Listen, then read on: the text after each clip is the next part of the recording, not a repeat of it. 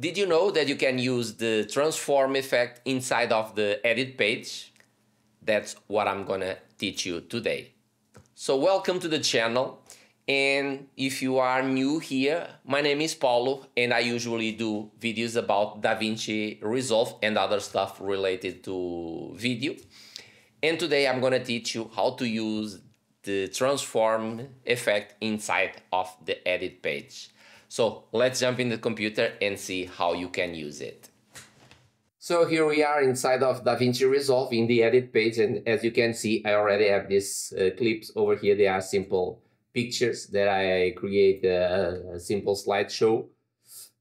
And now I'm going to teach you how to use the transform node.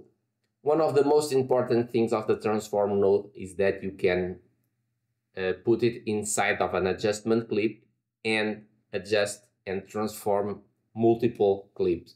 Of course, you can use the transform in individual clips, but in my opinion, the best way, the best uh, way, not, not the best way, probably the most useful way is to adjust multiple clips at the same time with just one adjustment clip. So where you can find the transform node, it's here in the open effects, and you can come here and look for the transform and it's here. So you can put it in one clip and if you select that clip, you come here to the effects and now you in the open effects, you have here the settings that you can adjust. But now the other way is come here to the effects and use an adjustment clip and now go to the open effects and look for the um, transform. It's in here in the resolve FX transform and drop the transform in the adjustment clip and now in the adjustment clip you have this enable and you can use it. And you can do all of this. So you have the control modes. It has three modes the sliders the interactive canvas and then interactive pins. I like to use the sliders but you can test the others.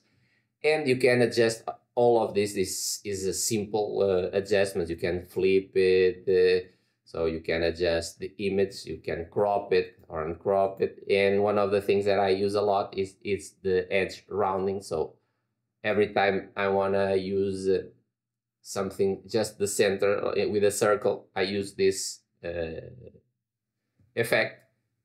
Because if we play it, you notice that it's only showing this. And of course, if you can, if you want to have a, a soft edge, you can come here and just the softness.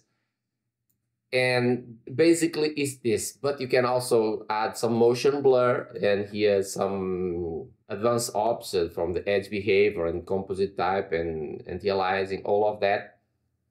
And the global blend, of course. And you can use the use alpha. If you don't use the alpha, you don't see anything happening.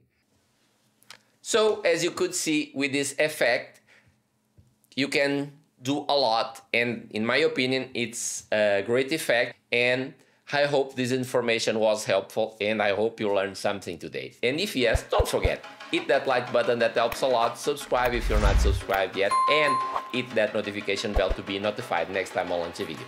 Until there, bye!